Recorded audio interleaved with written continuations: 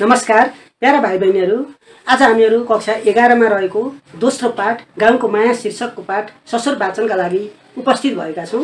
र यो पाठ लेखेका छन् महेश्वर प्रसाद पौडेल अथवा उनको साहित्यिक नाम इस्माली हो उनीद्वारा लेखिएको यो पाठ ससुर वाचनका लागि सबैजना तयार हुनुहोस् है त? ससुर वाचन गर्नुभन्दा अगाडि म लेखकको छोटो परिचय दिन्छु। ध्यानपूर्वक सुन्नुहोला र टिपोट पनि गर्नुहोला। महेश्वर प्रसाद उपाध्याय जसको साहित्यिक नाम इस्माली भनेर मैले अघि भनिसकेँ उनको जन्म विक्रमसम्मत दुई हजार बाह्र जेठ चार गते औरही चार महोत्तरीमा माता तिलकुमारी देवी र पिता गोविन्द प्रसाद पौडेलका सुपुत्रका रूपमा भएको थियो। गणित विषयमा स्नातकोत्तरसम्मको शिक्षा अध्ययन गरेका इस्मालीको प्रमुख पेसा प्राध्यापन हो।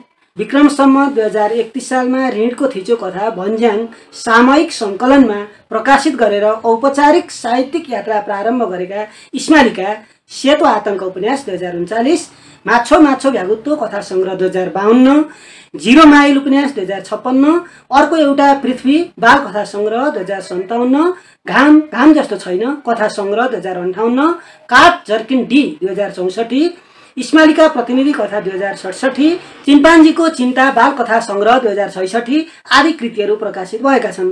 पारिजात सृजन पुरस्कार दुई हजार बाहन्न मैनाली कथा पुरस्कार दुई हजार छैसठी र नागार्जुन वार्षिक रचना पुरस्कार दुई हजार पैँसठी आदि संस्थाबाट पुरस्कृत भइसकेका इस्माली हाल काठमाडौँमा बसोबास गर्दै आएका छन्।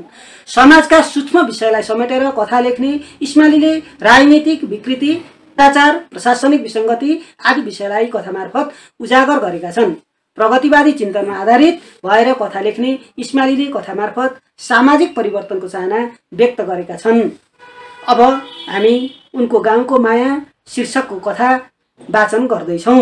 भाइ बहिनीहरू अब कथा वाचन सुरु गरौँ। गाउँको माया। लगभग दुई वर्षपछि गाउँतिर फर्केको थिएँ। यी दुई वर्षका बिचमा धेरै पटक प्रयास गरेँ गाउँतिर जाउँ भनेर। तर हरेक पटक एउटा अल्झो आइपर्थ्यो र प्रयास केवल प्रयासै रहन जान्थ्यो।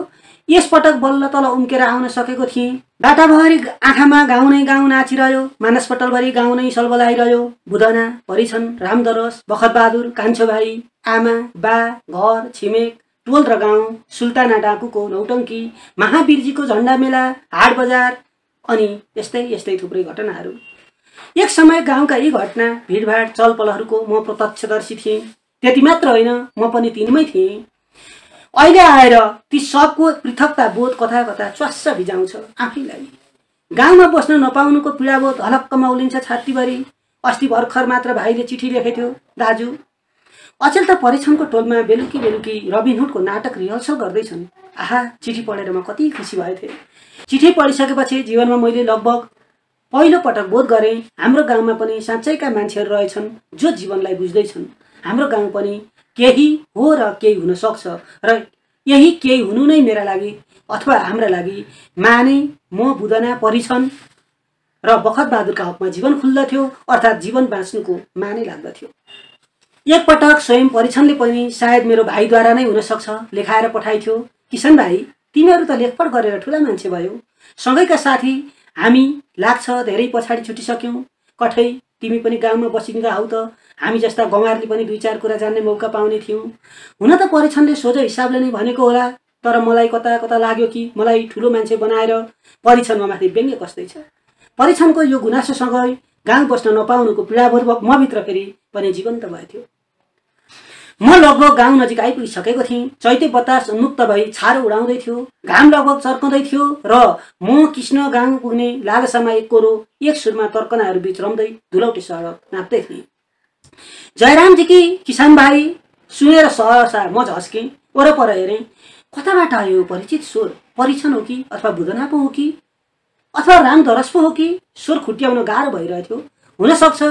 यतै कतै हलो जोतिरहेको होला अथवा घाँस खुर्किरहेको होला नबन्दै सिम्मरको आडबाट परीक्षण टुक्टुक्क देखा पर्यो। जोत्ता जोत्तैको हल गोरु अड्याएर ऊ हस्याङ फस्याङ गर्दै मतिर लम्खदै थियो। आऊ बसौँ। सियालमा एकछिन घाममा धापिएर आयौँ।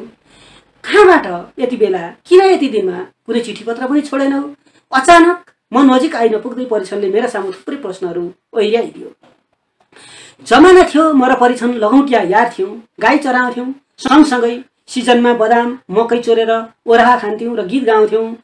गाई चरवा टुप्पर टापर भैँसी चरवा चोर बकरी चरवा छिनर छानर ताके चारो ओर। ती दिनहरू अब धेरै पछाडि छुटिसके। त्यही गीत अचेल परिछनको छोराले गाउँदो गोठालो लागेको बेला। परिछनको छोरो पनि बाउको पिँडो थाम्दै पछि अलि उम्मेदवार भएपछि हली बस्ला। परिछन पनि पहिले गोठालो थियो। लगभग छ सात वर्षकै उमेरदेखि चौध पन्ध्रको किशोर भए नहुँदै बनी कमाउन थाल्यो र पछि हली बस्यो सायद ज्यादादारीमा।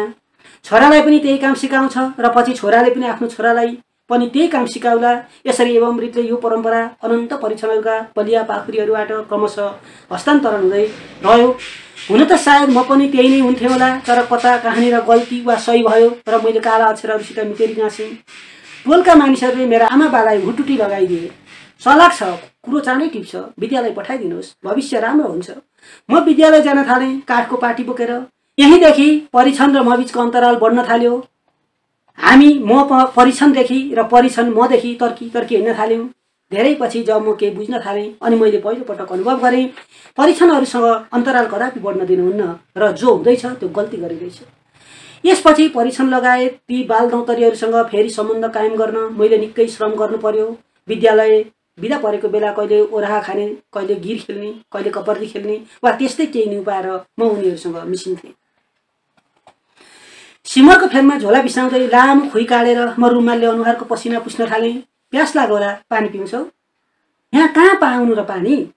अरे के कुरा गर्छौ? शर्बत बिर्साउँछ यहाँको पानीले। पख भन्दै उद गुर्दै गयो र जोतिँदै गरेको कोलाको आलीमा रहेको लोटा टिपेर खोलामा झऱ्यो। खोलो अचेल फेरि गाउँतिर सोझिएको रहेछ। यो खोलाले पनि गाउँलाई धुरुक्कै रुवायो हुन त रुवायो मात्रै भन्नु। खोलाप्रति अन्याय ठहरला। यो खोलाले हामी गाउँलाई पालेको पनि छ। हाम्रो विगतको लगभग आधा उमेर यही खोलाको ढिल र बगरहरूमा बितेको थियो। कहिले ओरा खाने न्युमा त कहिले गाई भैँसी चराउने न्युमा। खोलामा बाढी आएको बेला हामी गाईको पुच्छरमा समाएर बाढी तर्ने गर्थ्यौँ अथवा यस्तो बेलामा हामी खोलाको किनारमा बसेर बाढीको आनन्द लुट्थ्यौँ। तर्न डराउने कोही मानिस आयो भने हामी तिन चारजना एकअर्काको हात समाउँदै बाढीमा हेलिन्थ्यौँ र किनारमा पर्खिरहेको मानिसलाई तारिदिन्थ्यौँ र यस्तो काममा खास गरी परीक्षणकै विशेष रुचि थियो। यहीँनिर कुवा छ गए सालको वर्षमा मूल फुटेको एकदम चिसो र मिठो पानी छ ऊ पानी लिएर आइसकेको थियो। आजकल गाउँमा तिन पार्टी भयो कृष्ण। पानी पिउँदै गर्दा लगभग उदास र आर्द्र उसको स्वर मेरो कानमा गुन्ज्यो। उसले जसरी अँध्यारो मुखमुद्रामा बिना भूमिका मलाई यो खबर सुनायो सहसा मलाई लाग्यो गाउँमा सायद अब अङ्ग्रेजहरूको रोग सर्दैछ। डिभाइड एन्ड रुल परीक्षणहरू भाँचिँदैछन्। परीक्षणहरूको सकबगाउँदो चेतनासँगै गाउँका ठालोहरू नयाँ जुक्तिहरू सोच्दैछन्। ताकि तमाम परीक्षणहरू परीक्षण नै रहन्। अर्थात् कृतदास रूपी हली गोठाला नै रहन् र मालिकहरूकै कृपापात्र भएर रहन्। जुन एउटा परम्पराका रूपमा तिनका पुर्खाहरूले तिनका हातमा नाचो छोडेर गएका थिए। ह? यो तेस्रो पार्टी कहाँबाट? कसरी आयो त? किसन भाइ यो दुई तिन वर्षमा गाउँमा धेरै उथल पुथल भयो। गए साल रोपाइँको बेलामा हामीले चार किलो बनीको कुरालाई लिएर हडताल गऱ्यौँ। सुरुमा त सबै राम्रै थियो। तिन दिनसम्म काम ठप्प भयो। हामीले फेकन र शनिचरलाई अगुवा बनाएका थियौँ। पछि उनीहरूले धोका दियो र धनीहरूसँग मिल्यो। चार चार मन धान दिन्छु भनेका थिए अरे र त्यही लोभमा हडताल बिच्काइदियो। पछि त्यही कुरालाई लिएर हामीले तिनीहरूलाई किरकार गऱ्यौँ। झगडा फसाद भयो र हामीले उनीहरूलाई आफ्नो पार्टीबाट हटाइदियौँ। पछि मालिकहरूले पनि एक मनभन्दा बढी धान दिएन अरे त्यसपछि उनीहरू छुट्टै पार्टी बनाएर बसिया छन्। हडताल पनि बिच्किहाल्यो। नो बनी बढ्यो। उल्टै हाम्रो एकता टुट्यो। ऊ वरपर छरिएका सिमलका राता फुलहरू जम्मा पार्दै थियो। सायद गोरुलाई खुवाउन। हुन त एक किसिमले राम्रो पनि भयो एक किसिमले नराम्रो पनि भयो। यस्तो भइरहन्छ तर हामीले हिम्मत हार्नु हुँदैन। कमसे कम अब हाम्रो पार्टीमा धोकेबाजहरू त रहेनन् कि? त्यही कुराको खुसी छ हिम्मत त किन हारिन्थ्यो र? अरे एक साल भएन त अर्को साल कहाँ जाला? जब उत्तर गए रण पेतो पछि हट्ना के हो? तर एउटा कुराको दुःख छ भाइ यस्तो बेलामा किसुन भाइ तिमी पनि गाउँमा हुँदा आऊ त हामीलाई धेरै आड भरोस मिल्थ्यो। बल मिल्थ्यो आखिर हामी पनि त मूर्ख र गुहार नहौँ। तिमी लेखपढ गरेका मान्छे तिमी भन्ने गाउँको अभिमान हौ हाम्रो इज्जत हौ। तर तिमी पनि परदेशी भइदिँदा गाउँ र मालिकहरूको एकलौटी रजाइमा पर्छ। यसपटक परीक्षणको कुरो सुनेर म मर्माहत भएँ। परीक्षण यसो भनेर किन मलाई लजित पार्छौ? गाउँ तिमीहरूकै हो। तिमीहरूकै हँसिया खुर्पी कोदालो र पाखुरीका बलमा गाउँ बाँचेको छ। गाउँका इज्जत भनेका तिमीहरू नै हौ। तिमीहरूको आडमा गाउँ अभिमानी भएको छ। तिम्रो पाखुरीले यो खोलाको धारलाई त फर्काउँछ भने गाउँको इज्जतमाथि नउठाउला त। किसन भाइ तिमीलाई कुरामा जित्न सकिँदैन। खै र जे होस् यसपालि महावीरजीको झन्डाको मेलामा हामी नाटक खेल्छौँ। गाउँको घटनाहरू राखेर एउटा खुब राम्रो नाटक लेखिदेऊ। अहिले भोकाएका पनि होला भरे फेरि भेटौँला।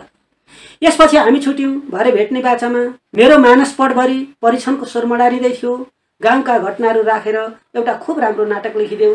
नाटक लेख्न नजान्ने म यो धुनमा सोच हिँडिरहेथेँ कि नाटक कसरी र कहाँबाट थालौँ। गाउँमा टेक्न नपाउँदै परीक्षणले ममाथि गहन जिम्मेदारी सुम्पिदिएको थियो। धेरै पर पुगिसक्दा पनि म उसको स्वर सुन्दै थिएँ। ह गोला फुर्ती से चाल बढाके। धन्यवाद।